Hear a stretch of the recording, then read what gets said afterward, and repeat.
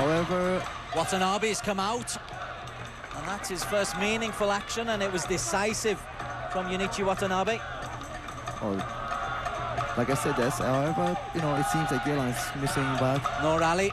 got the cross in. Butler! Watanabe's done brilliantly and deserved the luck when the...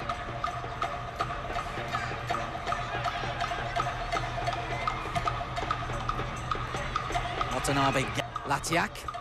Well, that's a decent ball from Latiak. Watanabe comes off his line, he's got to get there. And does. Great ball in though.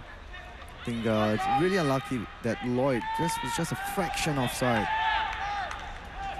to exploit it. And Noor Ali's looking for Butler on the far post. Similar ball. Watanabe. Floats it in. Watanabe gets a punch.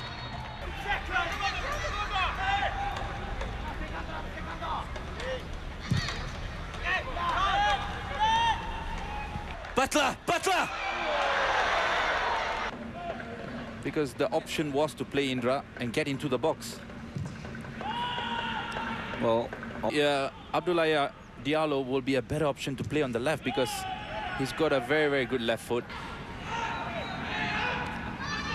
Watanabe, long searching ball.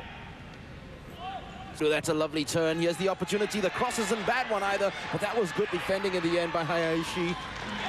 They're asking for a back pass. The referee says no. Because as we have a look at this one and plays the ball into a very dangerous area.